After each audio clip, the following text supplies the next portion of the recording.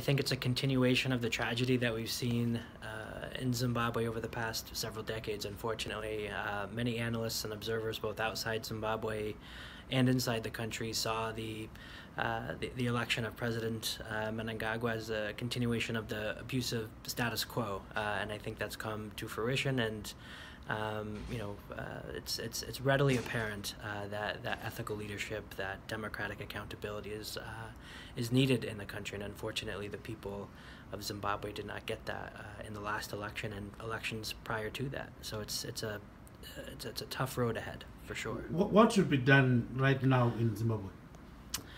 You know, I, I, think first and foremost, the president um, should end his foreign trip abroad uh, and come back home and deal with this escalating crisis. His deputy, who's been left in charge, is very clearly um, even more hardline uh, than the president and has let the security forces and the military and the police operate with, with brazen impunity, uh, abusing citizens in the streets, killing people in the streets once again, like we saw last August. I think he needs to get home and, and solve this crisis. I think he needs to bring the Democratic opposition to the table, um, namely the opposition leader uh, Nelson Chamisa, others within civil society. I think the religious community has a key role to play, um, and, and come to a collective um, uh, solution to this vexing problem that has been there again for, for years. Um, and this, this needs to be solved ASAP. Uh, people continue to be killed uh, for no reason, uh, and people are yearning uh, for a better country that, that provides for them, and the people simply aren't getting that. So that frustration, that angst, uh, and that very real possibility for increased um, more sustained violence will be there uh, until this um, situation is resolved in a peaceful, um, democratic manner. What about SADC and the AU? What can they do to resolve this kind of a crisis?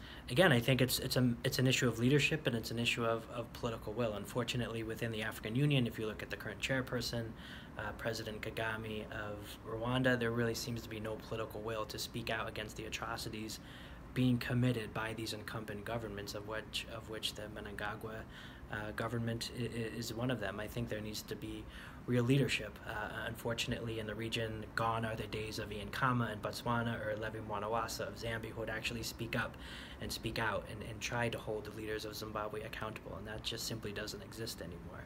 Um, I think people, uh, leaders in the region, uh, need to take a good, hard look in the mirror um, and um, speak from their hearts on this matter. Uh, I think the time for political correctness and uh, bowing to those who are in power despite the, the, the, myriad abuses that have been committed under their command, those times are over.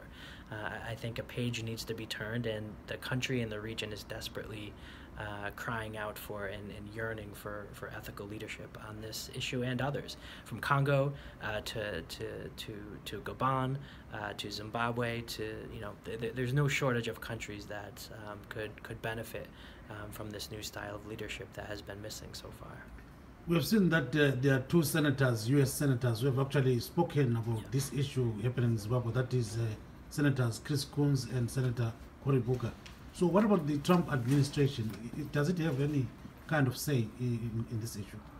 Uh, so far, I, I, haven't seen any official statements um, by by the administration. Uh, certainly, the State Department has been keenly engaged on this, and they're watching the situation closely. Uh, you mentioned Senators Booker and Coons, uh, who have issued successive statements on the crisis in Zimbabwe, going back to last year during the elections. Uh, so I, I, think that leadership uh, needs to be sustained. But I also think other voices uh, need need to step up, as you mentioned, uh, the Trump administration and, and, the National Security Council, because I think. The, the, the, real tragedy of Zimbabwe is not just confined to Zimbabwe itself. It's dragged uh, the, the rest of the region down with it uh, for, for a number of years now. I think for, for better or for worse, the, the, the democratic fulcrum um, that, that um, that exists in southern Africa really rests on Zimbabwe. And I think if, if positive change can happen there, it would have profound ripple effects across the region. Uh, unfortunately, uh, where it stands now, it's, it continues to drag the region down in a negative way.